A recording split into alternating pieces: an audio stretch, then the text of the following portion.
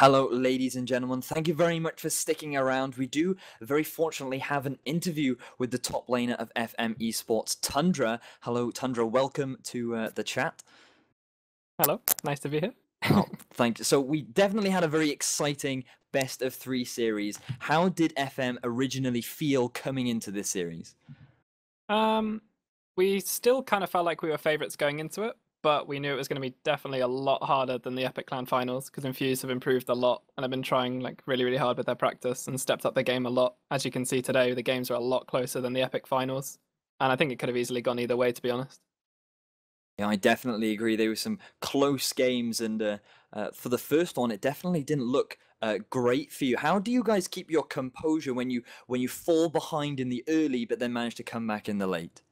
Well, game one is a good example of kind of like stylistic differences between the two teams, where you can see Infused like to run this kind of early game, mid game spiking, like four skirmishes around the map, really scrappy gameplay.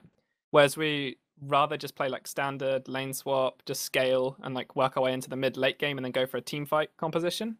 So as you saw in that first game, they kind of snowballed well early on, got ahead of us, but then it kind of got to the point where their comp couldn't actually end the game against us, and they got impatient. Uh, the bottom inhib, if I remember correctly, we got a really good fight with like Gnar, Orianna, or Viktor, whatever it was, wombo combo, and then from there we just turned the game because we got into the team fight phase where we were much stronger composition and we were able to close the game out. I would definitely, I can definitely understand your viewpoint on that. But coming into the second game, I'm a little bit interested because you talk about how you do prefer these scaling team comps, and that is something that myself and Asigilus talked about. So, can you walk me through why you decided to go for the Urgot pick in the second game? Sure. So, it's a comp we really like to run at the moment. This kind of like four tanks and sort of like this consistent damage mid to go with it, or like a lot of shields. Like I think we had the Shen Orianna Urgot combination. So just like really, really tanky team, but with consistent team fight damage. The issue kind of came from we got caught out too much. Like, I feel like that game was in the bag near enough. Like, we had a good leads, we got out of laning phase well, but we just started to fall behind with turrets. And that was a big key point for us in winning the game because our team just is really, really bad at taking turrets.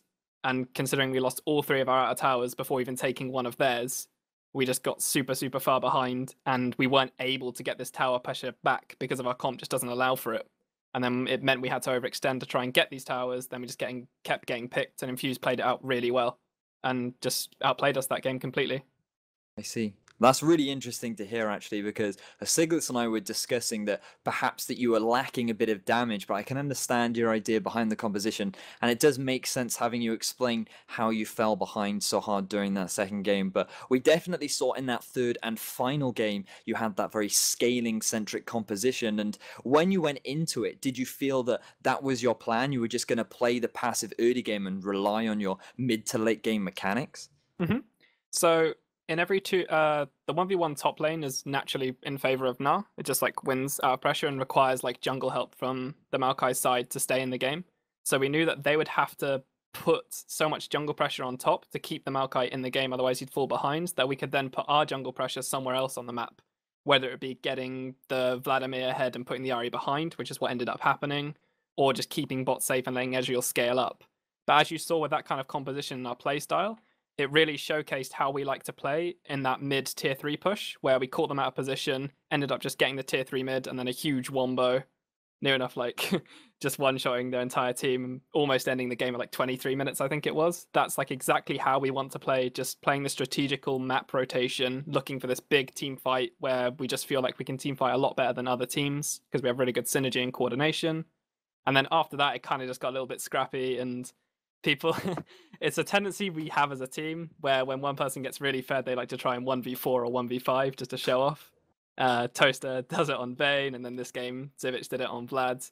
So we kind of delayed our game for like 20 minutes and the Nash deal. So it just kind of took a lot longer than it should have. We probably could have ended at like 23 25 minutes or so but either way it worked out in the end yeah, I definitely agree with that. I, I felt while we were commentating the game, we did feel as though there were a, quite a few mistakes on both sides of the uh, of the game, but uh, nevertheless, you did in fact manage to close it out. So you are going to be taking five BYOC tickets home for FM Esports. Uh, I assume this is the lineup that you do plan on taking to Insomnia 55. How are you feeling going towards that tournament? Um, pretty confident going into it. Although no team has ever won back-to-back I series in the last like three years, so hopefully we'll be able to break that curse. But I think we have a lot of LAN experience with the team now, and we're one of the few teams that are actually going to remain the same from a LAN to two UK LANs in a lo- in a row, which is a pretty rare thing in the UK scene. We're hoping to stick together for as long as we can, and hoping to keep this lo- roster together for the Challenger Series next season. So this is more of a long-term project for us, I guess you could say, rather than just focusing on the next LAN. This is more of a going for Challenger Series, I guess, in a few months down the line. I see. Yeah, you definitely. I believe you were somewhere around 700 LP last time climbing through the Challenger series, and for a little while you were actually rank one on the Challenger Fives ladder. So that must have been a very nice feeling. But nevertheless, very impressive performance coming from you guys. And uh, is there anything that you would like to say to any of your fans, or any uh, you know any shout outs that you'd like to make? Well, if we had fans, I'd shout them out, but I don't think we do. but to FM, thank you to our sponsors, Razer, Sapphire, and MND, uh, AMD. Sorry, and thanks for them supporting us for so long. Looking forward to I55.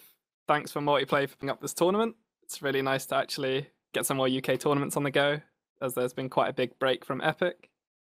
And just really well played to Infused and Choke, to be honest. It's really, really close up at the top of the UK scene now. And I'm really looking forward to hopefully everyone just growing a bit more. And maybe in the future, we can get to a more of a European level rather than a UK one.